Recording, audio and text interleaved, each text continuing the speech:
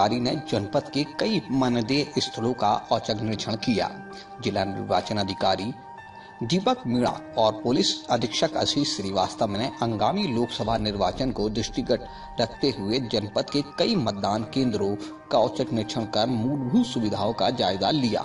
इस दौरान उन्होंने तहसील जुमना के मानदेय स्थल, प्राथमिक विद्यालय बेगमपुर, प्राथमिक विद्यालय हरीशवंशपुर और प्राथमिक विद्यालय चोरी कुटिया सहित दर्जनों मानदेय स्थलों का औचक निरीक्षण कर व्यवस्थाओं का जायजा लिया तथा उक्त मानदेय स्थलों के मज़ा में जाकर मतदाताओं से मिले उनका कुशल सेम जाना तथा भयमुक्त होकर मतदान करने की अपील की।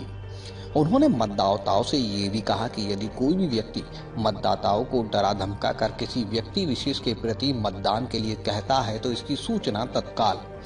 भारत निर्वाचन आयोग के टोल फ्री नंबर 1950 और डायल हंड्रेड नंबर पर संबंधित तहसील के जिलाधिकारी, तहसीलदार, पुलिस क्षेत्र अधिकारी या अपने थानों में शिकायत कर सकते हैं ताकि संबंधित दबंग व्यक्ति को तत्काल गिरफ़्तार कर जेला, जेल भेजा जा सके।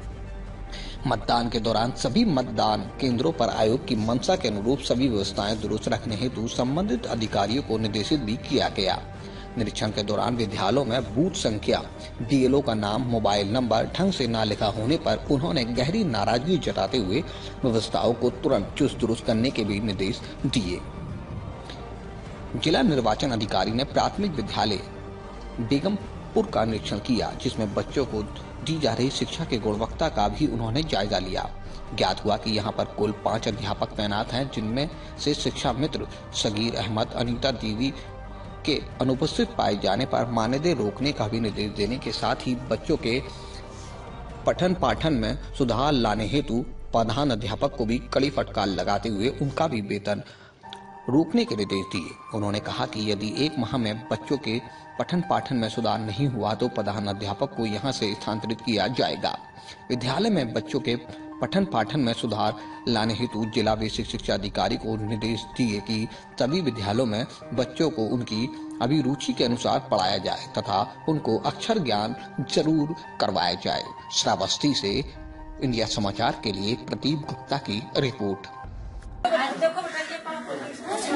है ना छुट्टियाँ तो है। मैं वापस से आपसे सिंपल से सवाल पूछ रहा हूँ। कोई बच्चा ऐसा है जो पैराग्राफ पढ़ सकता है लाइन पढ़ सकता है?